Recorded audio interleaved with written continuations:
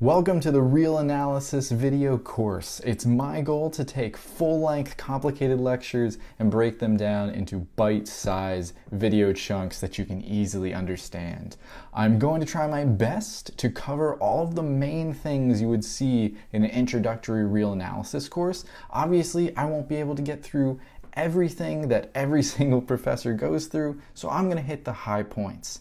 Now, obviously, we want to talk about the study of real numbers. That's what real analysis is. But before we do, we have to talk about some preliminary things. Specifically, here, we are talking about ordered sets. What does it mean for a set to be ordered?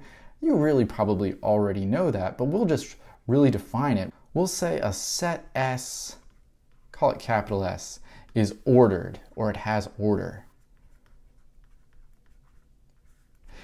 And sometimes we say with a relation or with relation.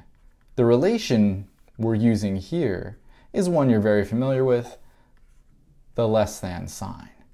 So we need two things to say our set is ordered. For any two elements in S, let's call them x and y, one of these three things either x is less than y, y has to be less than x, or they have to be equal. And that makes sense. Take any two real numbers, well, one has to be less than the other, or they have to be equal. It's the only way that can happen. There is another condition here, and it's sort of a transitivity thing. Say x was less than y, and y was less than z. If these were happening together, well, this would have to imply that x is less than z. Think 1 is less than 2 and 2 is less than 3. Well, that would have to mean 1 is less than 3, at least if we're talking about an ordered set. And with real analysis, with the real numbers, we are.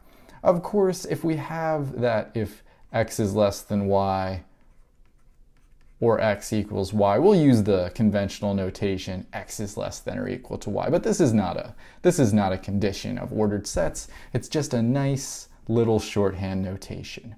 In the next video, we'll talk about boundedness and the supremum.